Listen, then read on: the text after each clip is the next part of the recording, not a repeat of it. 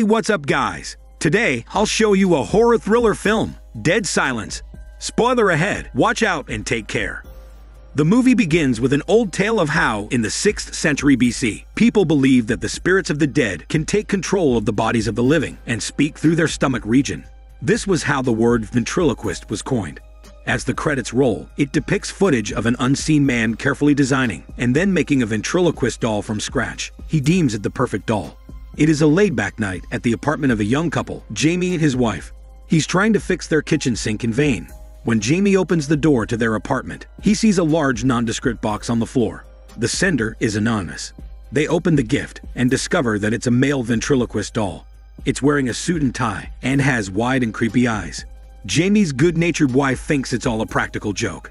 She even brings up the old urban legend in their hometown about Mary, a scary woman who had a lot of dolls. Jamie goes out to pick up their dinner in a restaurant. Meanwhile, his wife places the doll on their bed and covers it with a blanket. Moments later, strange things begin to happen around the apartment. Lights turn on and off, and appliances are malfunctioning. A kettle whistles on the stove, and the wife turns it off. She hears the faint sound of a child's laughter coming from the bedroom. She goes back to the bedroom and approaches the bed to uncover the blanket. But it flies off the doll and wraps around the wife's face. An unseen force slams her against the wall. Blood streams out of her mouth, and the same force drags her back into the bedroom. Jamie arrives back at their apartment with the food and one long stemmed rose. The kettle is now furiously boiling on the stove, and he hurries to grab it. He calls for his wife, and her faint voice answers that she's in the bedroom. When he gets there, the bedroom is dark, and he slips on a puddle of her blood. He turns on the light and sees that his horny wife is on the bed and covered by the blanket. She beckons him closer and tells Jamie that she has a hormone surprise for him. But near the end of her sentence, her voice changes to that of a raspy old woman. He unfurls the blanket, only to discover his wife is dead. Her body is posed as a mannequin, and her mouth is unnaturally gaping open due to force. Her tongue was also ripped out, preventing her from giving any tongue massage ever again. Jamie steps back in shock and bumps into the ventriloquist doll on the floor. The police are called, and they take away the wife's body, they immediately suspect Jamie as the killer, since there were no signs of forced entry into the apartment. Jamie doesn't really have a concrete alibi, but he insists to the detective that his wife's death has something to do with the strange ventriloquist doll that showed up that night. He explains that in their hometown, a ventriloquist doll is a bad omen for death. When he returns to the apartment, he tears the velvet lining on the box that the doll arrived in. Behind the cloth is a wooden drawing depicting Mary and the doll, advertising their show during the town fair. This seals the deal for Jamie. He packs his bags and goes back home with the doll.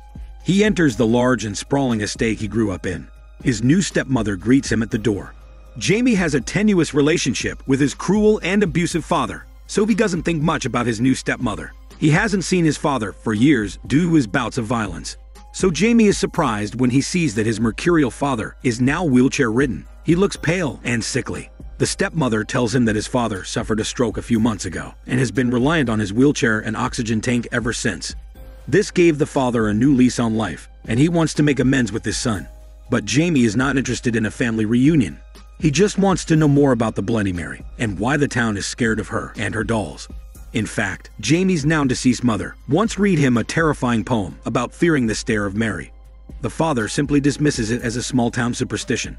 Seeing that he will not get much help from his father, Jamie leaves. The stepmother follows him out and pleads with him that his father really is a changed man, but Jamie is not ready to forgive and forget. He tells her that his father drove his mother to kill herself. His second wife left him because she could no longer tolerate his abuse. After the visit to his childhood home, Jamie heads to the local funeral parlor. He talks with the mortician, who explains that he will pick up his wife's body once the police have released it. Jamie gets a room in the local motel he settles into an uneasy sleep, the neon motel sign blinking intermittently by his window.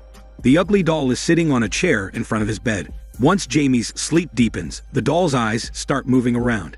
He then wakes up and sees the doll close to him. In the corner of the room is old Mary who stares at him creepily.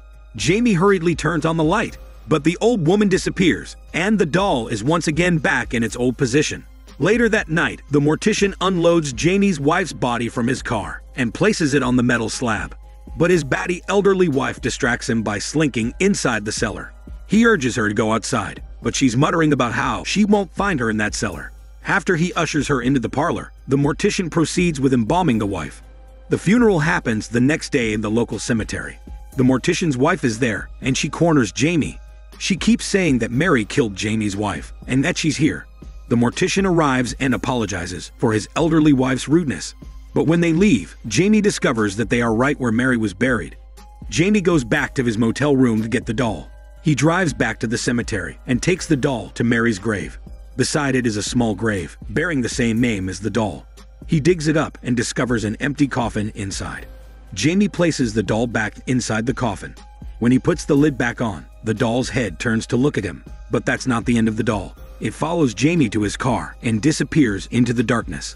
The detective in charge of the case of Jamie's wife ambushes Jamie in his motel room. He had dug the doll back up again, wondering why Jamie would bury it. Jamie explains that he is not burying evidence. The legend says that Mary was buried with her hundred dolls, and if you encounter her, do not scream because she will rip your tongue out. The detective doesn't believe him and is still looking at Jamie as the prime suspect for his wife's murder. The next morning, Jamie goes to the elderly woman for answers, but she is scared and avoids answering his question. The mortician then explains that his past involves Mary. Back when he was a boy, their town was bustling and had a grand theater. He went there once and watched Mary's ventriloquist show. Mary really was enchanting as a ventriloquist. She was able to animate the doll and perform realistic voices. The mortician was even featured in the show because the doll was hidden under his seat. However, Mary's act was interrupted by a big mouth boy who spoke out loud that he could see Mary's lips moving. Weeks later, the big mouth boy went missing. People suspected Mary of killing the boy because of what he said. Sometime later, Mary was murdered. Hurwell stated that she wanted to be buried with her 101 dolls. In addition, she also had an odd request to be fulfilled by the mortician's father. The mortician saw with his own eyes that his father turned Mary's corpse into a doll, replacing her eyes with wooden doll eyes and unhinging her mouth. After Mary's death, generations of families in the town became plagued by a curse. Many of them were mysteriously killed. Their tongues were ripped out and their corpses posed like mannequins. It turns out Jamie's wife is just the latest victim of the curse. Jamie heads to the theater, which is now run down and dilapidated. Mary lived in one of the upstairs rooms there, the whole place is dusty and dark. Mary's old room is covered with cobwebs, and many of her things are still there. Jamie finds an old sketchbook of hers, filled with drawings of dolls and human bodies. It seems like Mary was trying to create the perfect doll. The next pages show a picture of the missing Big Mouth boy with his full name. Jamie realizes that the boy was an ancestor of his. Suddenly, he sees Mary's reflection in the mirror. When he turns around, she's already gone. Meanwhile, the mortician catches his wife talking to the doll. He gets angry and grabs it. He places the doll inside his laboratory, but he hears his wife's voice coming from the cellar, and he assumes that she got stuck there again. The mortician crawls inside to rescue her, but it turns out to be a trap laid by Mary. She appears to him and tortures his younger self. The mortician could not help but scream. The noise he made allows Mary to claim his life and his voice. Jamie goes to his childhood home and sees his father and stepmother having dinner. He demands that his father tell him what their connection is to the big mouth boy who disappeared.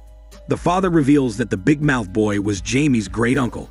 When he disappeared, their family immediately suspected Mary of killing him. One night, their family members and some other townspeople formed a mob and attacked Mary in her home. They forced her to scream, and then they cut off her tongue before killing her. All the people claimed by Mary's curse were the people who killed her or their relatives. Another reason why Mary only goes after people when they scream is because they had cut off her tongue. The father also reveals that he was so cruel to Jamie in the past because he wanted his son to be far from their town and Mary's wrath. After this confession, Jamie encounters the detective. He accuses Jamie of lying about the legend of Mary, since when he asked the townspeople about her, they claim that they don't know her. What's more, the detective has discovered that all of Mary's 101 dolls were dug up and stolen from the cemetery. Jamie then receives a call. He hears the mortician's garbled voice, telling him to come to the old theater, so he can prove that Jamie didn't kill his wife. Jamie rushes to the theater. He goes straight to Mary's room upstairs, thinking that he will meet the mortician.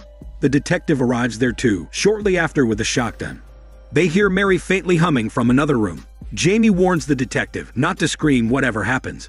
The two men go through a narrow tunnel and emerge into the theater's attic. Inside are all of Mary's dolls back in their glass cases, with the exception of the boy doll that was gifted to Jamie. In the opposite corner of the room is a figure covered in a velvet cloth. Jamie uncovers it and sees a doll like boy with red hair. His limbs are tied with strings, suspended above like a marionette. Jamie looks closely and announces that it's not a doll. This is the rotted corpse of the Big Mouth Boy who insulted Mary during her show. It turns out it is true that Mary killed the Big Mouth Boy. After his death, she turned his corpse into a doll. Suddenly, the dolls begin to turn their heads one by one. On the side is a clown doll rocking on a chair, possibly enjoying a horror movie. Jamie calls the doll Mary, and she responds with a raspy voice of an old lady. She reveals that in her mission to create the perfect doll, she used both human and doll parts, like in the case of the Big Mouth Boy. Now, she wants to silence all those who had done her wrong. Jamie asks her why she killed his wife. Mary beckons him closer and answers that the wife was carrying Jamie's baby. By killing her and the fetus, Mary has successfully ended the Big Mouth Boy's bloodline forever. Out of fun, she sticks out her long juicy tongue, licks Jamie's handsome face, but spares his smelly body. He recoils in horror, and the detective shoots the clown doll. But Mary just continues to possess her many dolls, fleeing from one toy to another. Jamie and the detective set fire to the dolls, so they can weaken Mary. They flee the theater, but Mary causes the bridge to collapse. The detective screams out loud, and Mary kills him instantly. Jamie manages to swim to safety and get inside his car, but he realizes that there's still one doll left. He goes to the mortician's home and finds the mortician's wife holding his dead body. She cries out that she saw Jamie's father get the doll and leave. Jamie arrives at his childhood home looking for his father. He finds the doll in one of the rooms. He turns on one of the lamps. That's when he sees his father sitting motionless in the corner. He reaches out a hand, and his father's body slumps forward. To his horror, the entire back of his body is hollowed out, with a wooden stick holding the body upright. It turns out the stepmother is the perfect doll that Mary had created. She looks very much like a human, but is actually a doll. Mary possesses her and uses her to enact her revenge. She had married Jamie's father and then killed him.